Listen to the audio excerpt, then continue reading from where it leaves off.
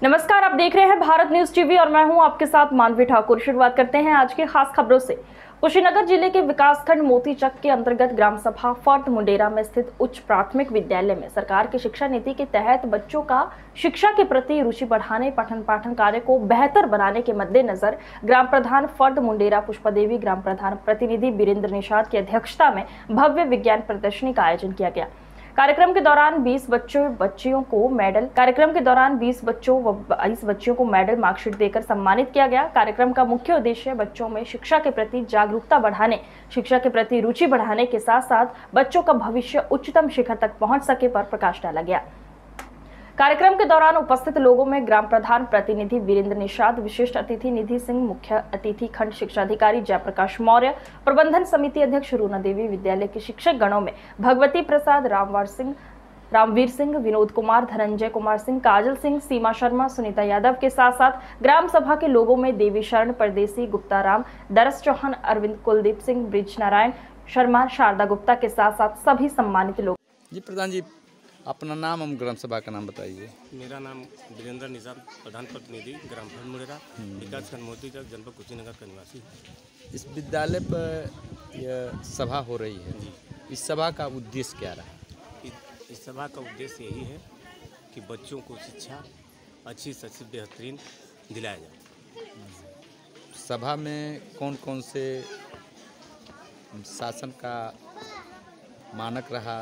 कौन कौन से अधिकारी उपस्थित रहे कौन कौन से कार्यक्रम किया गया?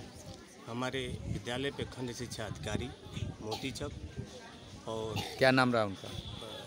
जयप्रकाश मौर्य उपस्थित रहे और मेरे विद्यालय के बच्चों का विदाई समारोह विद्यालय के विद्यालय परिवार के शिक्षक में किन किन किन की उपस्थिति रही? विद्यालय में जो शिक्षक होंगे प्रधान जी, जी, जी। कितने शिक्षक हैं और कौन कौन इस समय मौके पर उपस्थित रहे? जितने लोग हैं सबकी उपस्थिति हुई है। जी जी। अभी अभी हमने देखा बच्चों का जो है पुरस्कार वितरण भी किया गया उनको सम्मानित किया गया। तो उसके पीछे आपको क्या लगता है सम्मानित करने से क्या बच्चों की शिक्षा बेहतर होगी? हाँ शिक्षा उससे बेहतर बेहतर होगा उत्साहित होंगे। आने वाले समय में जो बच्चे हैं जी। पढ़ लिख करके होशियार बनेंगे। और इसीलिए उन लोगों को प्रोत्साहित किया गया। कुछ बच्चे आपके विद्यालय में प्रधान जी हैं या प्रधानाचार्य हैं इन लोगों का नाम बता दीजिए। भगवती प्रसाद मेरे यहाँ विद्यालय के। कितने टीचर होंगे? मेरे यहाँ। हाँ। मेरे यहाँ टीचर हैं सात। शिक्षा मित्र दो। शिक्षा मित्र मिला के साथ ही में। दोनों मिला करके सात लोग। सबसे अच्छे नंबर एक पे कौन से बच्चे हैं? नंबर एक पे जो बच्चे हैं उनको तो दिया गया नाम प्रधान जी आप बताएँ। सा, साहिल है सरस्वती हैं। साहिल हैं सरस्वती हैं। और विद्यालय के हेडमास्टर साहब का मन भी दुखी होगा कि हम इतना अच्छा प्रयास कर रहे हैं, लेकिन गाँव के बच्चे तोड़ दे रहे हैं, गाँव के बच्चे उखाड़ दे रहे हैं। क्योंकि वो बच्चे आपके हैं तो उन बच्चों को भी समझाना, विद्यालय परिवार के द्वारा भी समझाया जाता है।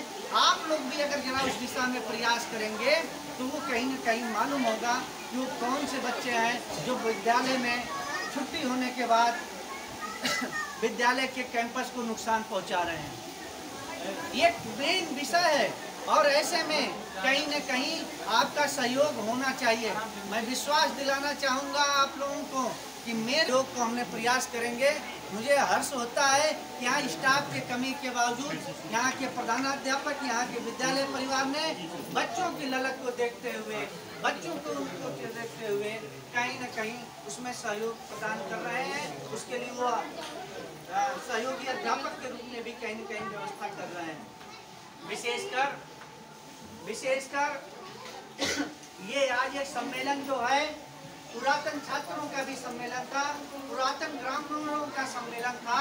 विशेषकर उन अभिभावकों को बुलाया गया था, जो इसी विद्यालय से पढ़ के निकले हों और कहीं न कहीं अच्छे पदों पर लिप्त हों। उनसे हम उम्मीद करेंगे कि वो छोटा छोटा सहयोग इस विद्यालय को प्रदान करें कि जो विद्यालय की छोटी छोटी कमियाँ हैं, उसको भी दूर किया जा सके।